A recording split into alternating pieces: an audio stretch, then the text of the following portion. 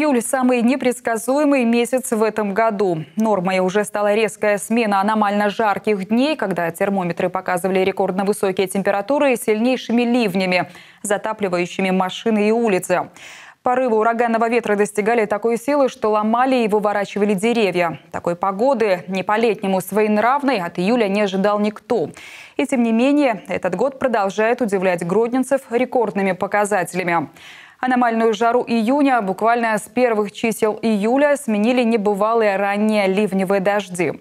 Четверть месячной нормы осадков за два дня. Так начался июль в Гродно. Однако дождю гродненцы после долгой жары все же были рады. До тех пор, пока его не стало слишком много. Настолько, что улицы уже не вмещали такие потоки воды – Напор был такой силы, что поднимал даже люки. Завтра погода будет определять атмосферный фронт, смещающийся с запада. Ожидается облачная с прояснениями погода. На большей части Гродненской области пройдут кратковременные дожди и грозы. Местами сильные ливни. Днем в отдельных районах град.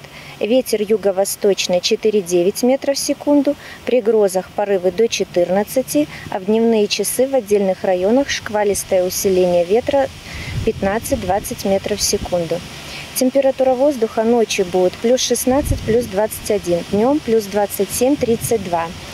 Завтра в дневные часы во многих районах области максимальная температура воздуха достигнет 30-32 градусов. По городу Гродно прогреется до 30. Это неблагоприятное явление погоды относится к оранжевому уровню опасности. В последующие дни синоптики обещают жаркую погоду. Местами пройдут кратковременные дожди и грозы. 28 июля будет облачно с прояснениями. Ночью на большей части, днем местами кратковременные дожди. В отдельных районах пройдут грозы.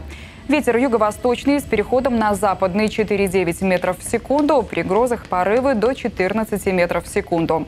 Температура воздуха ночью плюс 15, плюс 20. Днем плюс 25, плюс 30. 29 июля переменная облачность. Ночью и утром на большей части, днем местами кратковременные дожди. В отдельных районах грозы. Ветер западный, юго-западный 4,9 метров в секунду. При грозах порывы до 14 метров в секунду.